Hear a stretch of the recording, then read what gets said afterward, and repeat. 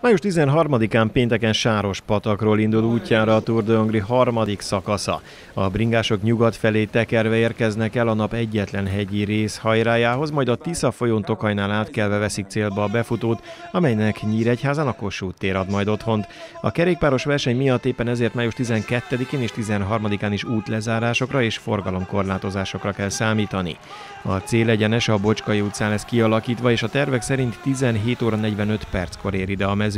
Ebben az időszakban az Orosi út is le lesz zárva, és pénteken a parkolók egy részét sem lehet majd használni. Szombaton, azaz május 14-én ötödik alkalommal rajtolhat el a Bringa Piknik mezőnye a Kossuth térről. 8 órától lesz gyülekező, 9 órától pedig rajt. A jubileumi versenyre a szervezők is készülnek programokkal.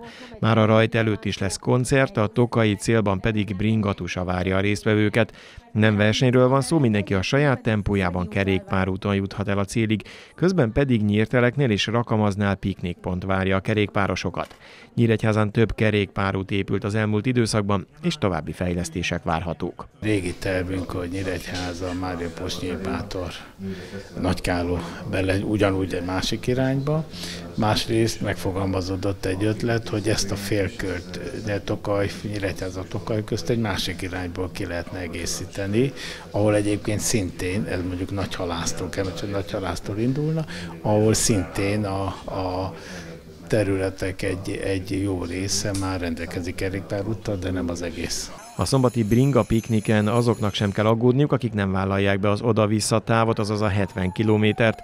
Tokajból ugyanis a vasútállomásról kerékpárszállítókocsik indulnak majd óránként, így akár vonattal is vissza lehet jönni Nyíregyházára.